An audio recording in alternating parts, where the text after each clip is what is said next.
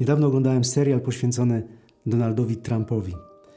Nie chciałbym mówić teraz o tym filmie, ani o, o tym, jakim prezydentem jest Donald Trump. To w ogóle nie jest e, moim tematem. Natomiast podczas tego, w tym serialu był wykorzystywany wywiad z Donaldem Trumpem, który użył takiego sformułowania, że świat dzieli się na ludzi z instynktem zabójców i na pozostałych.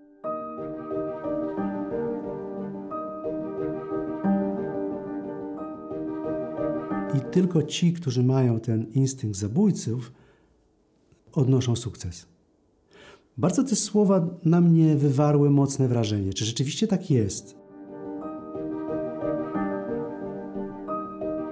Ale też zdałem sobie sprawę, że w kontekście naszych rozmów pogłębionych na ogół tak jest, że rozmówcy dzielą się na dwie grupy. Jedni to są ci bardzo zdeterminowani, żeby pójść po swoje, osiągnąć to, co sobie założyli i mocno idą do, przodzi, do przodu, a naprzeciwko nich siedzi bardziej złożona jest już grupa ludzi, na przykład wrażliwych, którzy nie chcą iść tak w sposób oczywisty do celu, tylko chcą to najpierw przemyśleć. Albo ludzi mniej zdecydowanych, albo po prostu słabszych, albo jeszcze nie wiedzących, co robić dalej.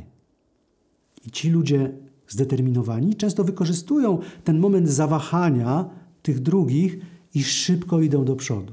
Oczywiście nie ma nic złego z pójściem do przodu, tylko trzeba wziąć pod uwagę, że podobnie jak e, kiedy po ulicy idą ludzie z instynktem zabójców i pozostawiają za sobą zgliszcza i smutek, tak również po takich rozmowach wymuszonych, e, doprowadzonych, poprowadzonych za wszelką cenę, również zostają zgliszcza i smutek.